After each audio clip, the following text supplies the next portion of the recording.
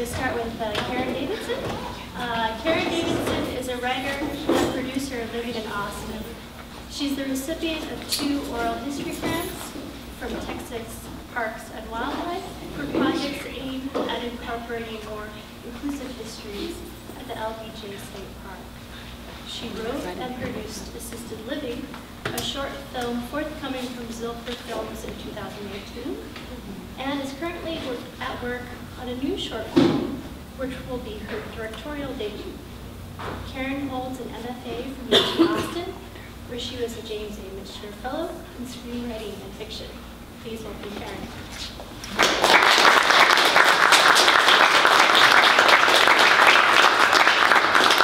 Thanks so much for coming, everybody.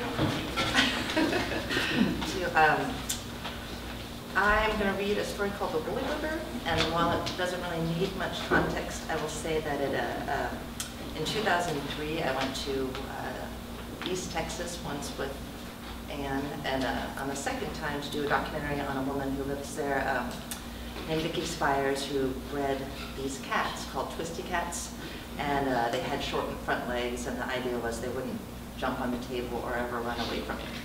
So, uh, so she put a website up, and as you can imagine, there was a big backlash. And, uh, and so I went out there to do a documentary, and uh, we had interviewed her brother, who didn't say a single word on camera.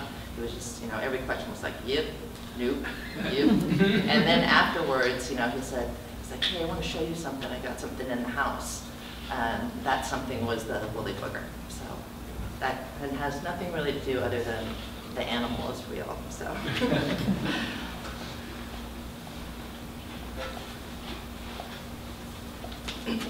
the woolly booger. Why they took the woolly booger and nothing else was a mystery.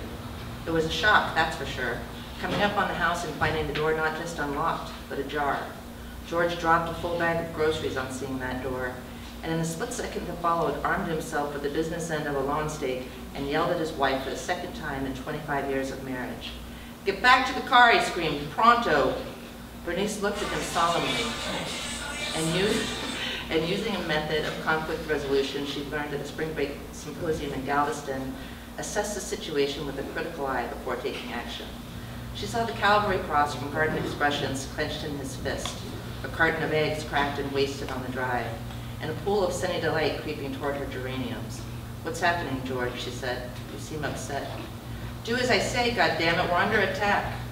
Bernice glared at him, no doubt logging the outburst in a file that resided in some dusty corner of her mind where she could later retrieve it, likely on a calm Sunday afternoon. As she sauntered sil silently toward the car, it occurred to him that he may be overreacting. She had a talent for making him doubt himself, even in dire circumstances. But as he looked back toward that open door, he felt hot, right, and justified as an unrelenting wave of nausea poured through him. All his hunting rifles were inside. He could be facing a firing squad for all he knew. Anything was possible. The crucifix he was holding read blessed, and as he inched toward the door, he remembered the day she planted it in the yard, how pleased it had made her. Now everyone will know, she said proudly. He smiled and nodded because he liked to see her happy, but to his mind, a cross in the ground meant one thing, a gravesite, so a peculiar choice for the front lawn, he was thankful for it now. He used to push the door wide open, then braced himself for battle. Hello, he called, real friendly-like, in an effort to catch the thieving bastards off guard. Nothing. Anybody home, he yelled, emphasizing home as if to say, who's the son of a bitch in my home? Still nothing. Once inside the foyer, he took a deep breath. No indication of nonsense as far as he could tell. Rifle case locked, big screen TV where it should be, La-Z-Boy recliner, empty and in the upright position. He remembered Bernice had been last out the door and he chastised himself for trusting her to do something so simple as turn a lock. Then he saw it, or rather didn't see it, on the mantel. The woolly booger was gone. Outside, Bernice stood in the carport and watched a team of fire ants descend on the decomposing carcass of a cricket.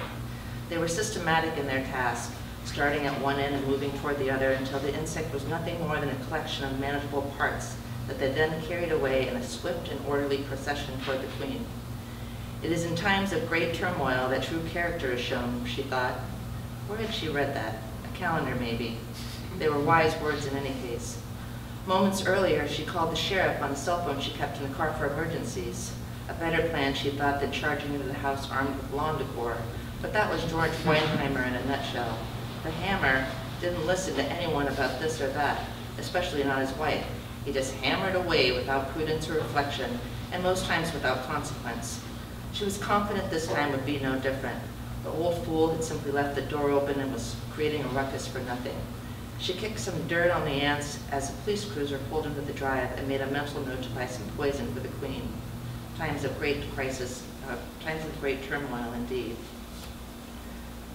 The young deputy was good looking. She saw that straight off, with the kind of compact and proportional build she had always admired. He took off his hat as he walked toward her. Mrs. Weinheimer, he said, I'm Deputy Clark. Dispatch got a call about a theft of some sort. That's right, she said, my husband's in with them now. Ma'am? Mind you, I'm not one to cry wolf, deputy, but the door was open when we got home from Berkshire's, over on Broadway. And George, my husband, well, you know how some men get, territorial, I suppose that's the word for it. In any case, he got quite upset and dug up the yard so he could use one of my lawn ornaments for protection. Now, what a 70-year-old man plans to do with a lawn ornament is anybody's guess, but he's in there chasing God knows what. Shadows spring to mind. Nonetheless, I thought I'd better give you a call on the off chance there was or is some monkey business going on. Deputy Clark hadn't told her to follow him, but she did. She hadn't said anything really, and just took a giant step back and made for the house. She watched in silence as he navigated the walk with quick, careful steps. It was almost pretty, like a dance, though she'd never have said that to him. Later, she would recall the moment just after he unsnapped his holster and aimed a shining revolver toward the open door. Standing at a sink, standing at a sink of sudsy dishwater, hands wet, she'd take stock of it all, the whole of their life together.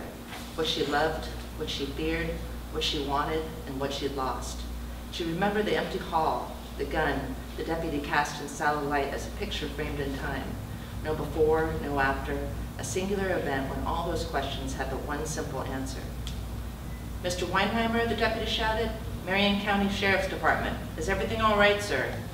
And just like that, the moment passed as George appeared, clumping down the hall, jaw lolling like a teenager. He didn't seem at all surprised to see the deputy, didn't wonder why or how he'd gotten there so quickly. He just took it for granted that he was there to bail him out of trouble. But that, Bernice thought, was George in a nutshell, too. They got my dang woolly booger, George said. Sir, my woolly booger. The deputy stared at George as Bernice pushed past them and headed down the foyer to survey the living room. China cabinet locked, Black Forest cuckoo clock where it should be, antique teddy and baby doll companion still in their tiny rocker. It's a trophy hit is what it is, is what it is, said George. A real one-of-a-kind item made special for me by a taxidermist friend of mine. The deputy surveyed the room with his hand still firmly planted on his holster. And is that all that seems to be missing, sir, this woolly booger? Yes, sir, it seems to be the case. Bernice headed for the bedroom to check her jewelry box, though a part of her knew she'd find it on the dresser, undisturbed. The thieves had taken what they wanted and left. Why they wanted that thing, she couldn't begin to imagine. It was a monstrosity if there ever was one. She remembered the day George had brought it home, how tickled he'd been when he opened the box to show her. He'd even made her close her eyes as he positioned it front and center on the mantel. Voila, he'd said as he unveiled it. Isn't she a beauty? Bernice stared at the beast for a full minute before she could get out the word, my. It was a fox head, or part of one at least, that had been jammed so far up its ears behind that the white tail poked out of its forehead like a cowlick of hair. Green glass eyes stared blankly at her from the monster's face, and rabbit hair cinched, its neck like an Elizabethan collar. As she sat on the bed, she imagined looking at her mantle for the first time in 20-odd years and seeing something pleasant, something pretty. A picture of the sea, perhaps, or a delicate enamel box, music box with hand-painted pastel flowers. Or maybe just a figurine, something small and simple, a pretty girl in motion with a carefree ex expression and long blonde curls. Anything but that pair of dead eyes would do. She was smiling when she heard George and the deputy walking down the hall and despite attempts couldn't mask her outright glee. She felt vindicated and proud, the clear winner of some long race she hadn't realized she'd been in. As they walked in the room, she cupped her hand over her mouth and stared at the open box of jewelry. Everything okay in here, the debu- deputy asked. She nodded as George swung the closet door open in one last act of valor. He peered inside and poked her clothes with a cavalry cross. I just can't get my head around it, he said. What the devil just happened here? They bust into my home, easy as you please, pick through my things. That was an irreplaceable item, keepsake. I'm gonna wager it's just some kids having fun, said the deputy. We may, we may recover it yet, sir. Let's take a statement and get the ball rolling. George looked at Bernice as the deputy walked down the hall. Sometimes he forgot what a whisper of a woman she was, but now, perched on the edge of the bed, with that oversized jewelry box in her lap, she looked tiny, almost frail. He wanted to hold her. I guess there's no accounting for taste, she said. What's that? George asked, stepping toward her.